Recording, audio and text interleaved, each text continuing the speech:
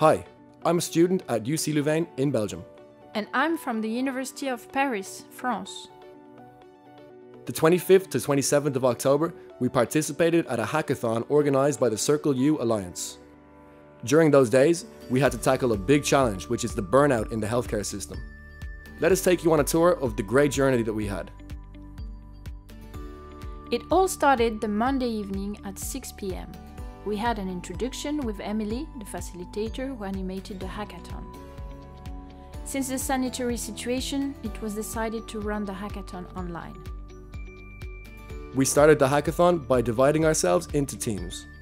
We then began an icebreaker to get to know each other better. Each team was assigned a coach, and once the teams were formed, three experts explained to us the challenges surrounding burnout in hospitals.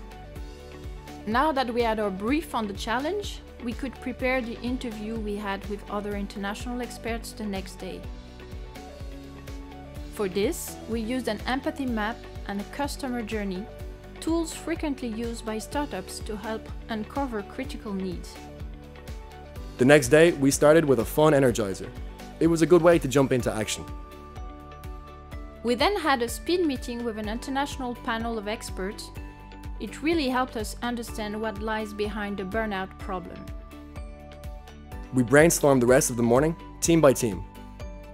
We used specific tools from the creative problem solving approach to increase our creativity. This was a very efficient way to think outside the box. After we generated plenty of ideas, it was time to challenge the best ones with our coach. In the evening, once we had developed new solutions, we made a 3-minute video pitch to convince on their relevance. The last day, the jury, composed of Circle U partners, gave constructive feedback on our solutions, but also feedback on our teamwork and the videos that we made. The solution pitch were really varied, from the interactive terminal to an artistic place where the staff could express their feelings. A team even had the idea of an empathic robot,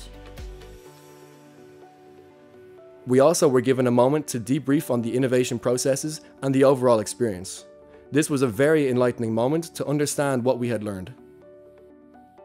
I'm very glad to uh, have been involved in that project because, uh, as a medical student, I've lived complicated situations due to uh, the organization within the public hospitals. It was quite intense experience working like so many days with one group. Uh, it was uh, a good way to learn about time thinking and ways to, to find new ideas. I learned like ways to work in group and to make things work in in each of our uh, degrees we lack team building activities. We lack the exposure to fields outside of our domain. If, if there's one thing we can all take away from here is the experience of having trial having worked outside of what what is in our comfort zone. And i think that is very important not just as a university student but as an individual in itself Students have been working for 24 hours. They have uh, made a huge effort, but they always kept energy very high. They smiled, they were motivated, and that brought me a lot of energy as well.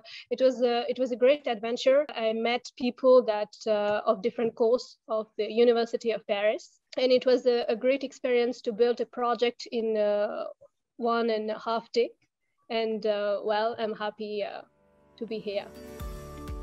Thank you all for this joyful experience. And you? Are you ready to jump on next year with a new challenge?